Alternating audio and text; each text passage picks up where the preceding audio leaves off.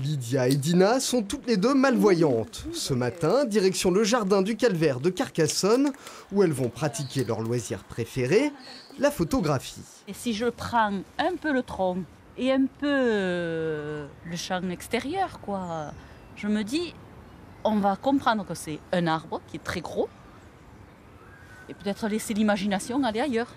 Lydia et Dina ont perdu la vue suite à une maladie. Et l'une et l'autre étaient persuadées que la prise d'image, c'était fini pour elles.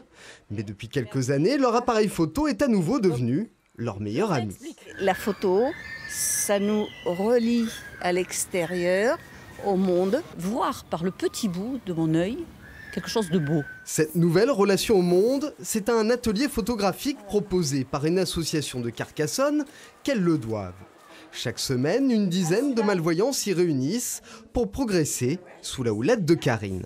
Quand tu vas déclencher, tu vas sentir que ça se fait en deux temps. un premier temps où le boîtier va faire la mise au point et un deuxième temps qui sera pour prendre la photo. Ah, ok, d'accord. Il y a un tout petit cran entre les deux. La professeure leur transmet les bases de la photo, mais leur apprend aussi à se servir au mieux du champ visuel qu'il leur reste. On n'est pas dans de la rééducation ici. Même si elle, elle vous dit ah ben oui, ça me fait faire un exercice de rééducation. Euh, euh, oui, d'accord, mais mais c'est le thème, c'est pas ça. C'est qu'elles font des photos et l'idée, c'est qu'elles fassent des photos aussi bien que euh, enfin aussi bien, euh, de la même façon que des personnes sans déficience visuelle. Et ça marche, trois des élèves du cours ont eu la joie de voir leurs œuvres présentées dans le cadre d'une importante exposition organisée dans le département.